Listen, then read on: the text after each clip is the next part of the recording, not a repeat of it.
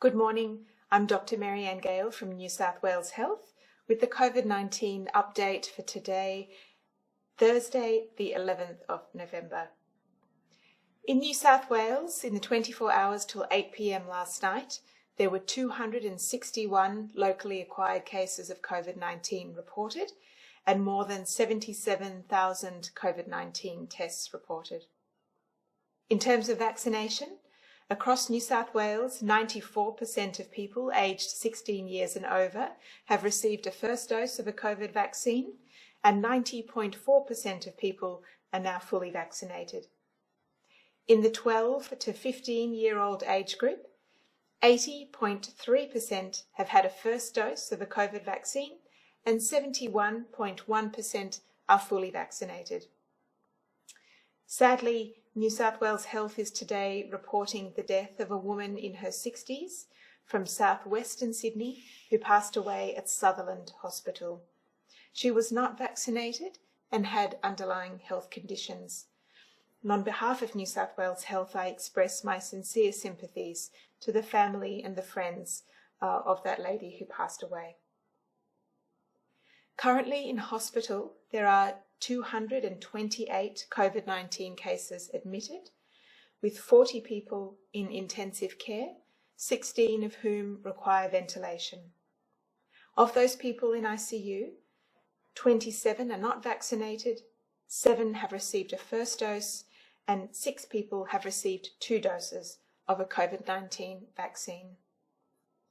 In terms of our ongoing sewage surveillance program, Fragments of COVID 19 have been detected in the catchments from West Wyalong, Uralla, Bermagui, and Cobar, and we're currently not aware of active cases of COVID 19 in those areas.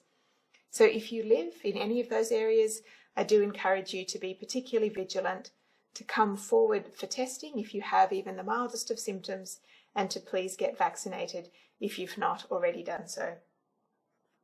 It's really great that in New South Wales we have now reached the 90% double dose milestone, but it's really important that we continue our efforts to further increase our vaccination coverage. I'd like to particularly encourage anyone in the community who has fully recovered from COVID 19, if you've been unwell, that uh, you can now get vaccinated. Uh, you don't need to delay vaccination. And if you're unsure, please talk to your GP. I'd also like to encourage anyone who's had a first dose of a COVID vaccine but hasn't yet got their second dose. Please don't delay. Uh, two doses offers greater protection than just one dose, so please do arrange to get your second dose.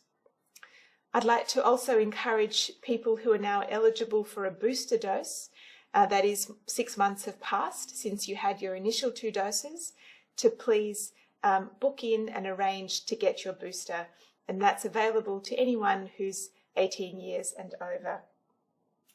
Um, and finally, I'd like to particularly encourage our young people who aged 12 to 15 years of age. If you haven't yet got vaccinated with either your first dose or your second dose, please book in to do so. It's really great to see our rates of vaccination increase and our coverage increase such a lot in that young age group. And I'd like to encourage our young people and parents as well to encourage our 12 to 15 year olds to get vaccinated. So again, thank you very much everybody for your continued efforts to get vaccinated, to get tested promptly if you have symptoms, and to continue to practice COVID safe behaviours as you go out and about in the community. Thank you.